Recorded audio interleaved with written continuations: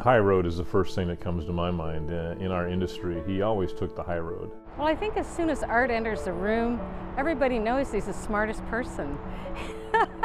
Art's the guy that's sitting on the front of his chair. He's leaning forward and he's focusing intently on whatever we're doing in the room. He struck me as being for a very creative engineer.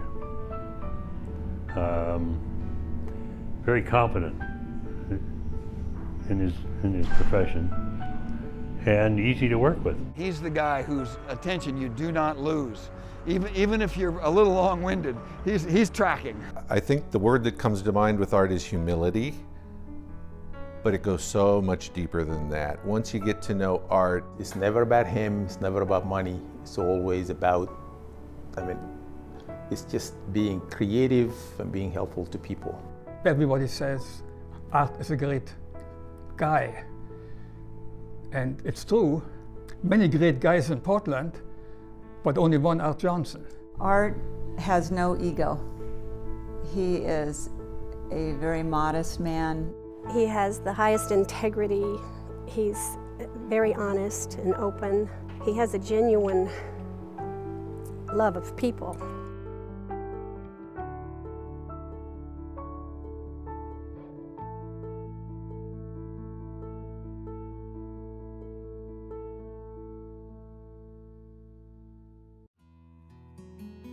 Born and raised in Berkeley, California.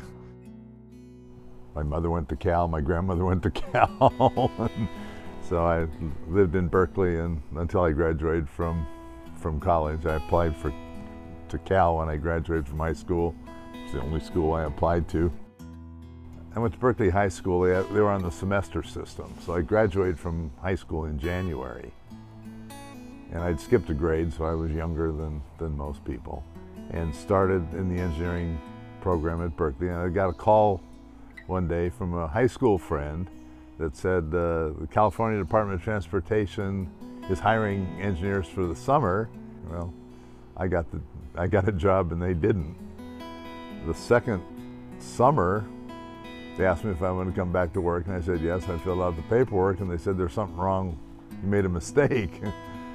What's that? Well, it says you're 18 years old. Yeah, but you worked last summer and you can't work until you're 18. I remember I got an offer from a, a well-known, still around engineering firm for $455 a month and Boeing offered $1,000 a month. So it seemed kind of exciting to move there. You know, once you get used to the rain in Seattle, it's a pretty nice place. I worked there six years. The first five years when it was called the Structural Test Group, which is not unlike you know, a consulting engineer. In 1970, I decided I wanted out.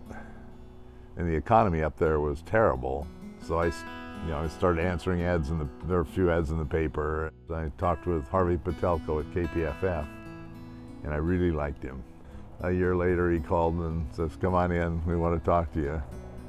Turns out he had to pay a placement fee if he hired me within a year after talking to me because it was the placement agency that had set us up. So he waited a little over a year. And so I worked in Seattle for three years and then I moved, moved down to Portland.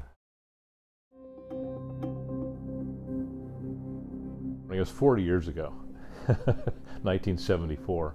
I started talking to other structural engineering firms, consulting firms around town, and nobody would talk to me because I was aerospace, an aerospace refugee. And Art Wood uh, talked to me because he had the same background, obviously. Like the Outliers book, I think it was the right place at the right time, perfect timing for me uh, and for Art too. I, I, think the urban renewal was just taken off in Portland, and it was it was magical, the, the timing. My first job in Portland was the Benjamin Franklin Plaza. We were then hired to do the World Trade Center, PGE's headquarters. We're also working on a project. At the time, it was called Flanders Square. Um, it's the gas company headquarters, One Pacific Square. And shortly after that, there was a whole, there was a building boom in Portland. it's the Or Orbanco building, uh, One Main Place, KOIN Center, all started, you know, within a few years of moving down. He uh, was a unique, high-powered engineer when he came to town. Very soon proved that he had this uncanny sensibility for architectural design. Of course, the architects in town were all taken by this, and uh, so he stormed the city of Portland, or rather the architects' offices of the city of Portland, by his personality. We were once talking over drinks or something, and he said, You know, I really like architects better than engineers. And I said, Yeah, me too. And just, they're much more interesting people, much more diverse, uh, much more big thinkers, uh, and just fun to be around. And I think that translated into a very good uh, business model. He was very interested in the overseas work. We had done a number of projects in the Sudan. And uh, we felt we had to pay back something to the government of Sudan.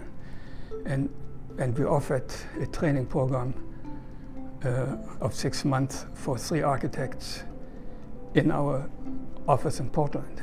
He said, you know what, I will give you two architects and one engineer, and you will find out why. So I called uh, Art next morning and told him, you have to help me. Joachim dropped me in Art's office at 8 o'clock in the morning. Art was not there. So I, here is this Sudanese guy that know nothing about this place, my first time in the United States. Walked in, asked about Art, he wasn't there, and I just sat and waited for him. Half an hour later, this tall blonde guy walks in, and everybody said, that's Art. and that's how we met. The funny thing was that, that Jaffa had many of similar capabilities as Art. So Art turned into the perfect mentor. I could tell you for a fact, I would probably not be sitting talking to you if it wasn't for art. I mean, my whole career, it started with art, and I stayed because of art, because we became friends, we became partners, we did everything together. We disagreed on things, we yelled at each other, but we're always friends. And I could always depend on him, and I know he's got my back. And so it was, it was just a great partnership. He didn't discriminate against anybody. I mean, if you look at the at the staff in in Portland here at, at KPFF, it's probably the most diverse staff of any any company I can think of. Women, people from all over the the world uh, work here, and that's a testament to Art, I think, and his open-mindedness. Uh, if you can do the job, you got it. There's a few projects that were special, and you know, I get asked that question often. There's three that I always mention. One is Doernbecher's Children's Hospital. Where do you build it? There's no space up there, so it spans the canyon. It's really a bridge with a building on it. There's a group called FIDIC, it's an International Association of Consulting Engineers. They had their 100th anniversary last year, and they asked each member organization, there's 100 and some countries that belong, to submit projects to be considered as one of the top projects for the past 100 years. Doernbecher was the only building from the United States that was honored. The convention center and you know the story behind the towers. The twin spires that you see were originally structural masts and we were going to suspend the roof. The roof system became too light and uplift was, was the biggest problem in doing that. So we went to a more conventional long span system, but the spires remained because in the thinking of us and the committee, they became kind of the icon. He would accept my and others' ideas and run with them, and if they didn't work, we'd try something else. He was very, very easy to work with. The Moyer Chapel out at the grotto is a totally different kind of project. But Tom Moyer uh, sold his theaters shortly before the building was built, and his wife died shortly thereafter. Wanted to do something for her, so they agreed that uh, he could build a building there. And walked up to the to the top of the cliff there one afternoon with, with the architect, and uh, there was a group of students sitting there studying at one spot. You know, the view out there at St. Helens and the river, and said, you know, they've picked the spot. Art was not the bridge engineer on this bridge behind us, but he was a really important player. He was appointed by TriMet to this uh, uh, sort of an advisory committee that was led by Mayor Katz, and they selected the most uh, intelligent people they could find to advise them on how this bridge would be uh, constructed, what kind of bridge it would be. And so Art was the person in the room that really brought a different perspective, not only a technical perspective, but uh, knew how to ask all the right questions of the bridge design team. I think this space is a great place to talk about art because he is sort of present all around us in the sense that his firm designed this building, the engineering building at uh, Portland State, and that building, the uh, uh, City of Portland Department of Building Services, and his firm uh, contributed somewhat to the engineering of this sculpture. So really art is behind it all. As far as doing work with a client, I would do all their work. Not just their big projects, not just their little projects, not just schools or whatever. Um, you know, so everything I do, I try to do the best I possibly can. He must understand the soul of the artist or he wouldn't allow projects like mine to be engineered at KPFF because mine are not bringing any revenue to the firm. That, that, that's clear. I, mine are these little tiny projects compared to these giant buildings that they're engineering. And so the fees are, are minuscule. One of my favorite, it's not a building, is the stair in ZGF's new office. If you look at that as an engineer, it, it is very unique. And, uh, you know, it, every time I go into their office, I feel proud that I had something to do with it. They call it Art Stair, so.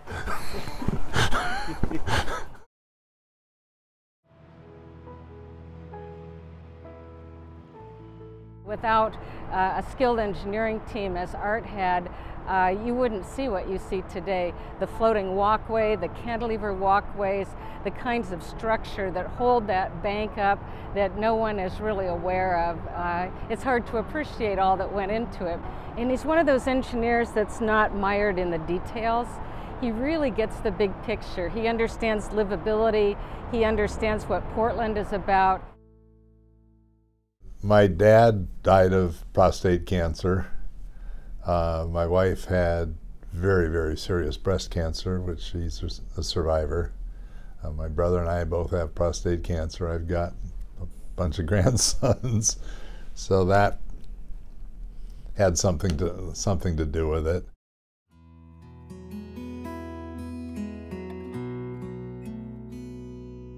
Quiet guy who's very passionate about what we do, very passionate about uh, what it means to be a cancer patient, a cancer survivor, and what we all have to do to make sure that uh, there are many more survivors tomorrow than there are today. He just has no ego. He gets right to the point. He knows what to do. He guides the board. He's made great connections. And he's very passionate about the cancer research that Providence is doing. Art doesn't talk about himself. Art isn't full of himself. Art is absolutely as humble as anyone I've ever met in my life. I learned about Art's abilities from other people, not from Art. They did the skywalk, the structural engineering for how we can have the, from the parking lot over here in front of the Cancer Center, which is sort of a unique uh, entrance and it makes it a special place. And